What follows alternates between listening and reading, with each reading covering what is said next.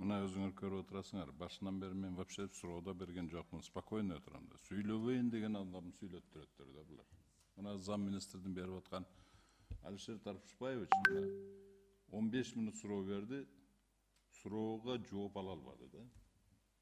Простой вопрос.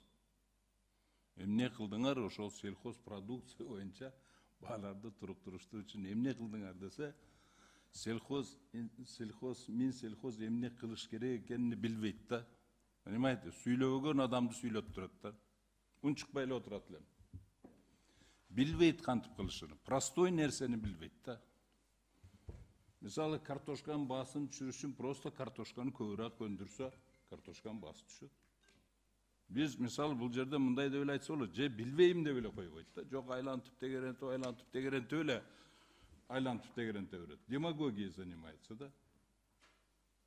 Даярданып келишсиңдерчи анан ушу киши келбей койсунчу? Министерствонун атынан аманхан батырбекович пусть он не раздражает народ не раздражает депутатов не раздражает своим демагогией своей.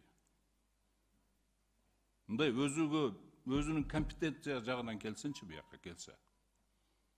А мынау жерге действительно Аль Чарван Джахши Бельганадам Кельсин Чизама, который знает, как решать эти вопросы.